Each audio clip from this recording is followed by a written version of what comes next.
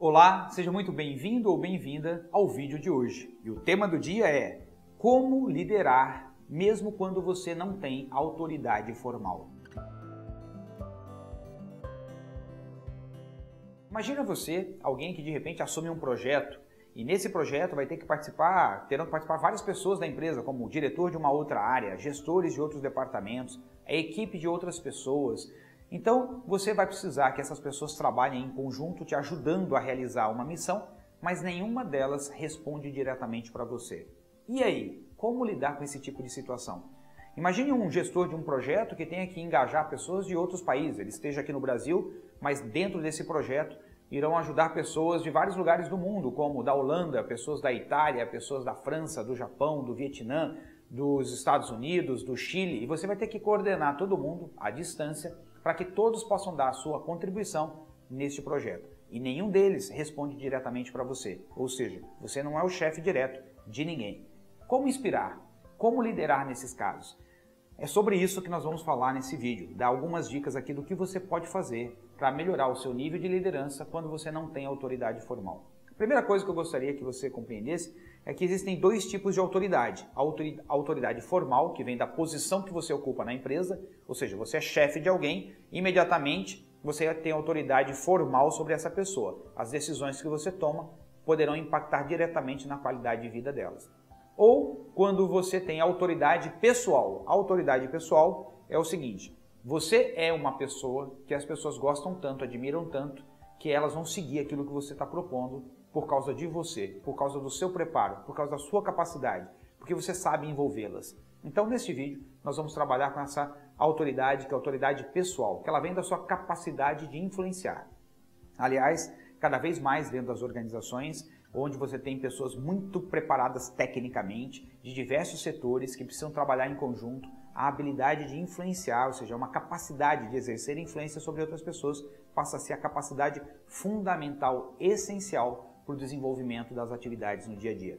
Nós temos aqui na Norte um curso chamado Maestria em Influência. São cinco dias em um hotel fazenda onde as pessoas ficam trabalhando em como se tornarem mais influentes. E o resultado no dia a dia depois é incrível, porque realmente, cada vez mais nós teremos que influenciar os nossos chefes ou os superiores, outras pessoas de outras equipes. Às vezes, se você trabalha numa multinacional, pessoas de outros lugares do mundo. Então, saber influenciar passa a ser aqui o ponto central. Por isso que eu quero te dar cinco dicas de como você vai aumentando o seu poder de influência quando você tem um projeto que você precisa realizar e precisa de pessoas que você não tem autoridade formal. Então vamos lá. Os cinco passos. Primeiro passo, você tem que construir uma visão inspiradora. Uma visão que inspire todas as pessoas. Gilberto, mas como eu faço isso? É muito simples. Você conversa com cada uma delas, descobre o que é importante para elas e pensa: como é que eu posso construir uma visão onde todos possam se beneficiar?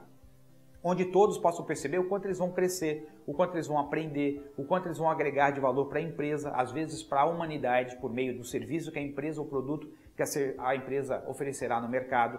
Então, é importante você parar, pensar e construir uma visão que inspire todas as pessoas envolvidas. Segundo passo, você precisa ser o exemplo da pessoa e do comportamento que você gostaria que os outros fossem durante o projeto.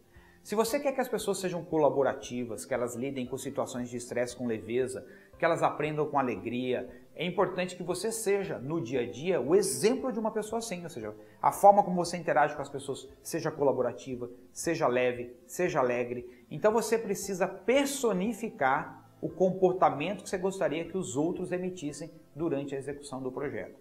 O terceiro passo é convidar as pessoas para co-criarem com você tudo que for possível. Se o projeto já foi definido pela empresa, o projeto é esse. Mas como fazer cada ação do projeto? Em que cronograma, em que tempo a gente consegue realizar isso? Construa com as pessoas. Compartilhe com elas algumas tomadas de decisões. As pessoas sempre estarão mais dispostas a colaborarem e contribuírem quando elas são parte da ideia, daquilo que está sendo criado. Então, mesmo que a ideia, o projeto esteja definido pela empresa, o como vai ser realizado, você pode compartilhar e co-criar com as pessoas. Isso é, isso é fundamental, esse é o terceiro passo. Incluir as pessoas na co-criação das ações, das decisões, do cronograma, isso vai ajudar muito. O quarto passo é o estofo emocional. O que é estofo emocional? É como se fosse um depósito de emoção que você tem que te dá a paciência necessária para conversar várias vezes com a mesma pessoa sobre o mesmo tema, para ajudá-la a fazer aquilo que ela ainda não conseguiu fazer, para estimulá-la a fazer aquilo que ela ainda não conseguiu fazer. Por muitas vezes você vai ter que lembrar todo mundo da visão, relembrar o que eles vão aprender. Você vai pensar assim, poxa, já falei 10 vezes com essa pessoa sobre isso. Pois é, estofo emocional é você ter a energia para falar décima primeira, décima segunda, décima terceira, até que a pessoa compreenda e comece a fazer parte realmente do projeto. Mas falando com carinho, falando com leveza, falando como alguém que está ali para estimular e apoiar. Isso é o estofo emocional, é o que vai te dar maturidade, ou seja, isso vem da sua maturidade emocional. O quinto e último passo é celebrar o progresso. Porque na medida que as coisas começam a acontecer, é importante você evidenciar para todos aquilo que está progredindo. Como fazer isso? Você pode enviar um e-mail descrevendo o que progrediu para todos, agradecendo e parabenizando todos os envolvidos. Você pode, é, quando é possível, reunir essas pessoas em algum, algum lugar e falar ao vivo com elas, mesmo que seja cada um em um país diferente. Você pede para cada um pegar um Guaraná, ou uma fatia de pizza, uma fatia de bolo, se reunir num determinado horário, todo mundo se conecta e você faz uma mensagem de agradecimento, todo mundo fala alguma coisa. É uma forma de mesma distância você incluir todas as pessoas no projeto. Outra coisa que você pode fazer também é contribuir quando você está no mesmo país e pode reunir as pessoas, a cada quanto de tempo que uma boa parte do projeto é concretizado, você reunir essas pessoas, fazer um rap, conversar com elas, agradecer uma a uma, isso tudo ajuda a celebrar o progresso. Por que isso é importante? Porque você informa para as pessoas o seguinte, olha, você está progredindo, você está nos ajudando e tem alguém observando isso. E eu estou evidenciando isso para a organização.